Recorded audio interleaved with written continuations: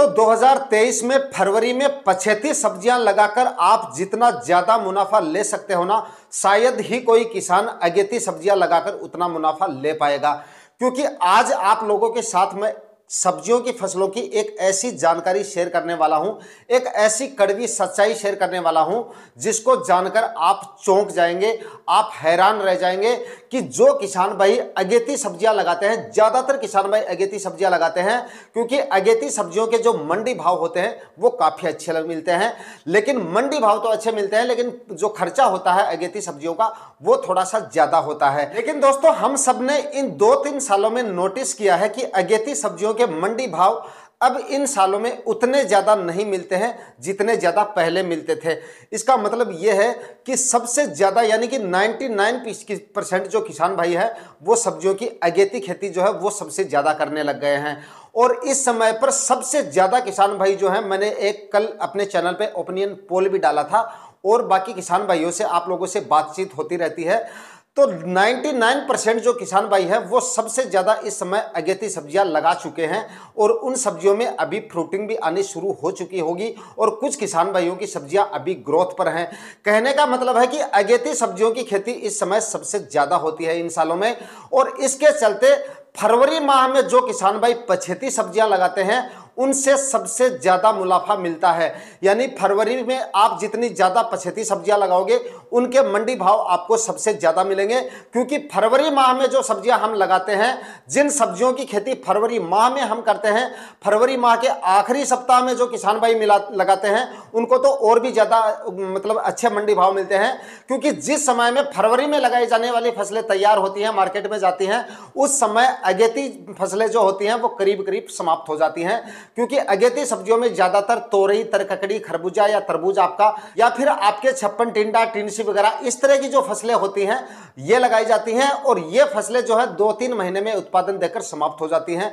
कहने का मतलब ये है दोस्तों, कि फरवरी माह में अगर आप पछेती सब्ज़ियाँ लगाओगे तो उनके मंडी भाव आपको सबसे ज़्यादा मिलेंगे, कि जिस समय पर फरवरी में लगाई गई सब्ज़ियाँ तैयार होकर मार्केट में जाएँगी, उस समय मंडी में सब्जियों की आवक काफ़ी कम हो चुकी होगी, क्योंकि उस समय पर काफ़ी किसान भाई जो अगेती सब्ज़ियाँ कर चुके हैं, उनकी फ़सलें समाप्त हो चुकी होंगी। और दोस्तों, इसका सबसे बड़ा बेनिफिट मैं आपको एक और बता देता हूँ। अगेती सब्जियों के भले ही हम किसान भाइयों को मंडी भाव जो है, वो थोड़े से एक्स्ट्रा मिल जाते हैं, लेकिन फरवरी में अगर हम पछेती सब्ज़ियाँ लगाते हैं, उसका सबसे बड़ा बेनिफिट भाई ये होता है कि हमारी बचत ही हमारा मुनाफा हो जाता है, क्योंकि इसमें हमारी लागत जो होती है, वो काफ़ी कम होती है। भाई, ना तो लो टनल का खर्चा होता है, प्लास्टिक जो मल्च लगाते हैं, ना उसका खर्चा होता है, केवल हमारा बीज का खर्चा होता है बेड बनाने का खर्चा होता है और ज़मीन की तैयारियाँ करने का खर्चा होता है। फरवरी माह के आखिरी सप्ताह में जो किसान भाई सब्ज़ियाँ लगा रहे हैं, तरबूज को छोड़कर। तरबूज अगर लगा रहे हैं तो उसमें तो प्लास्टिक मल्च अगर आप लगाएँगे तो वो ज़्यादा सही रहेगा। बाकी सब्ज़ियाँ अगर आप फरवरी के आखिरी सप्ताह में लगा रहे हैं, क्योंकि उस समय टेम्परेचर काफ़ी ज़्यादा बढ़ चुके होते हैं, उस समय प्लास्टिक मल्च को लगाने की कोई ज़्यादा आवश्यकता नहीं होती है।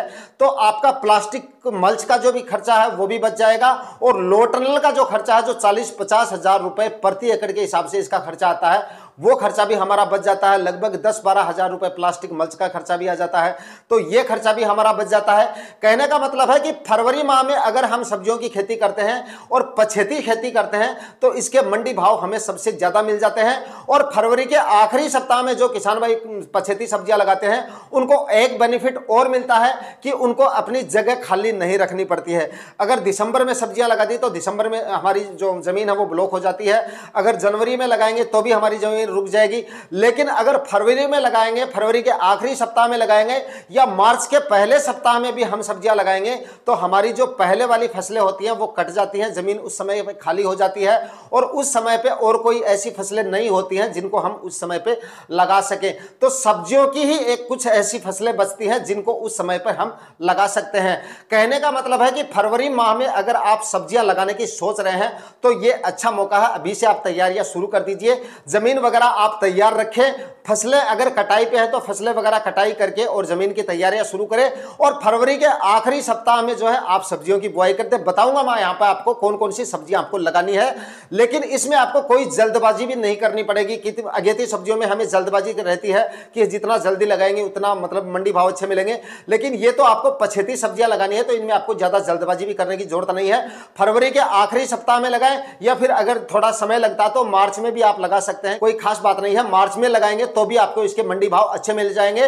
और गर्मियों में सब्जियों के सबसे ज़्यादा मंडी भाव रहते हैं आजकल।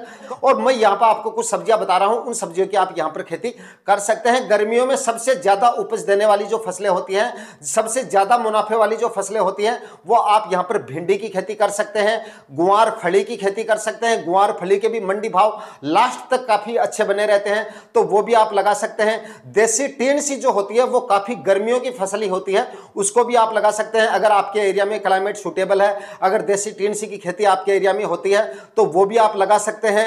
और दूसरा, यहाँ पर आप जो है तर ककड़ी लगा लीजिए। यकीनन दोस्तों तर ककड़ी आप जो है जिस समय पे लगाएँगे तर ककड़ी को तो आप 15 फरवरी तक ही लगा दीजिए, या फिर आप मतलब फरवरी के आखिरी सप्ताह तक लगा दीजिए। क्योंकि अगर आप 15 फरवरी तक भी तर ककड़ी लगाएँगे ना तो आने वाले दिनों में जब आपकी तर ककड़ी मार्केट में जाएगी, उस समय अगेती तर ककड़ी बंद हो जाएगी यानी क्योंकि जिन किसान भाइयों ने तर ककड़ी की अगेती खेती कर रखी है तर ककड़ी महीने दो महीने ही फ़सल देती है, उसके बाद में समाप्त हो जाती है।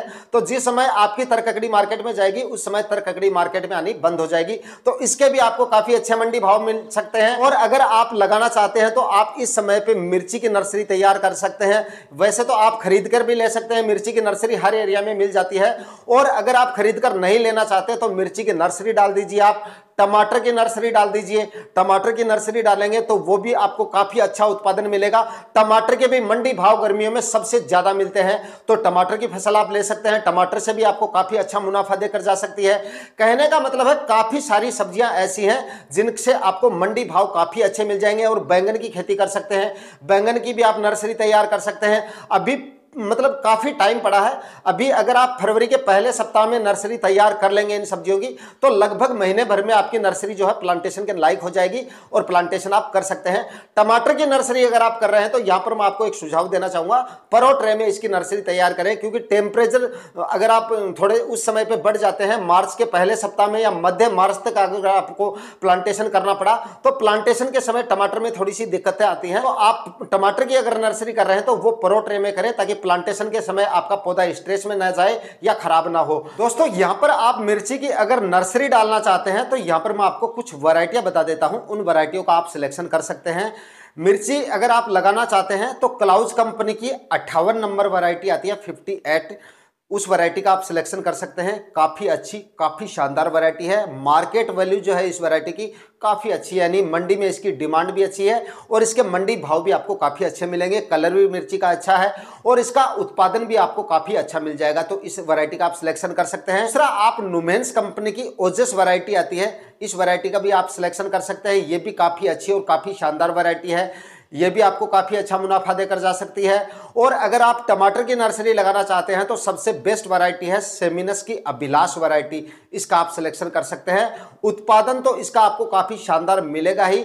फल भी अच्छा मिलेगा और फल की गुणवत्ता भी आपको इसकी काफ़ी अच्छी मिलेगी। मार्केट वैल्यू भी काफ़ी अच्छी है और फल का वज़न भी काफ़ी अच्छा है। इसके चलते आपको उत्पादन जो है टमाटर का, वो काफ़ी अच्छा मिल जाएगा। तो सेमिनस की अभिलाष वैरायटी का सिलेक्शन कर सकते हैं।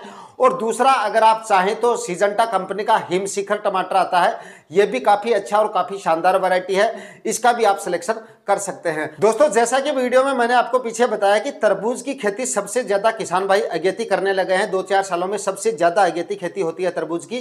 तो अगर आप तरबूज फरवरी के एंड में लगाते हैं या मध्य फरवरी तक भी तरबूज लगा देते हैं तो आने वाले दिनों में तरबूज के आपको काफ़ी अच्छे मंडी भाव मिल सकते हैं। यहाँ पर आप तरबूज भी लगा सकते हैं। तरबूज की खेती अगर आप इस समय पे करेंगे तो आपको सबसे ज़्यादा प्रॉफिट मिल सकता है, क्योंकि दोस्तों, तरबूज की खेती अगर आप फरवरी में करेंगे तो आपको लोटनल का खर्चा तो करना ही नहीं पड़ेगा, सिर्फ़ आपको प्लास्टिक मल्च ज़रूर लगाना पड़ेगा।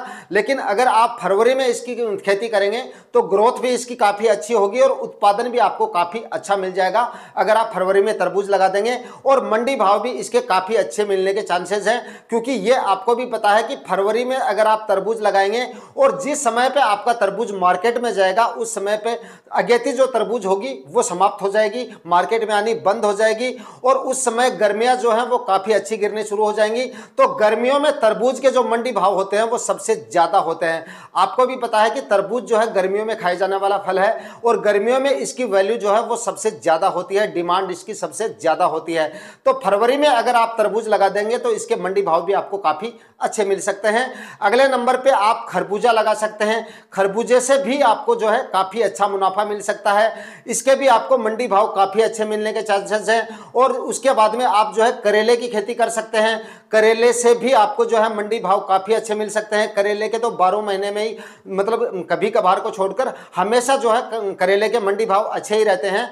कभी भी इतने डाउन नहीं आते हैं, बाकी सब्जियों के बहुत ज़्यादा डाउन आ जाते हैं। लेकिन करेले के मंडी भाव इतने ज़्यादा डाउन नहीं आते हैं। और फरवरी में अगर आप करेला लगाएँगे तो मार्केट में जिस समय पे आपका करेला जाएगा, उस समय पर मार्केट में सब्जियों की आवक काफ़ी कम होगी। इसके चलते मंडी भाव इसके भी आपको काफ़ी अच्छे मिल सकते हैं। तो दोस्तों, इस तरह से आप फरवरी माह में या मार्च महीने में पछेती सब्ज़ियाँ लगाकर काफ़ी शानदार मुनाफा ले सकते हैं। आज के वीडियो में इतना ही। वीडियो में दी गई जानकारियाँ अच्छी लगी तो वीडियो को लाइक, शेयर कर दीजिएगा। चैनल पर नए तो सब्सक्राइब ज़रूर कर लीजिएगा। मिलते हैं किसी नए वीडियो में नए टॉपिक के साथ। तब तक के लिए जय हिंद।